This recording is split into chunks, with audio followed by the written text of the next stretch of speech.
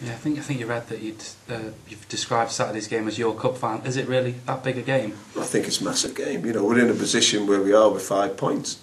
You know, um, we need to get uh, wins here because you know we need to make this what it, what it always has been a fortress at, at Prenton Park. You know, teams should be coming here and be frightened to death. Um, and that's not been the case in, in the last few weeks. Uh, albeit, you know, we scored six goals and took one point. You know, normally if you've scored six goals at home, you, you know, you should be sat at six points. So, you know, it needs tweaking here and there. We just need that little break. Um, but the lads know, it's, you know, it's an important game. It's a massive game. And, you know, we look at this one and then uh, go into October with a bit of a hope. And you look at the fixtures that are, are coming our way in October. You know, there's some really tough games. So it'd be nice to, uh, to get that first win at home on Saturday.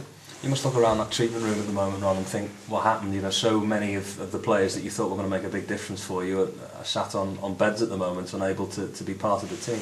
Well, that's the sickener. You know, you look at Koumas and uh, you look at Robinson. We're, we're just that's what we need at this present time. You know, someone with experience who can can hold the team together with the younger lads who are in there.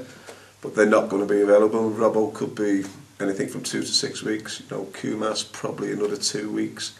Uh, like I said, Hallwood's off now. He's going to be two weeks. So, you know, all of a sudden we are a little bit short in there when you need the, the, the little bit of quality.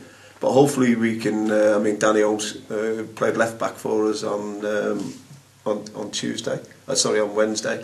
But he's gone home today. He's feeling ill. He's been sick. So we've just got to wait and see uh, what happens with him. But at the moment, you know, we're, we've got young Davo sat on the bench, and, and we are 18 players. It's simple as that.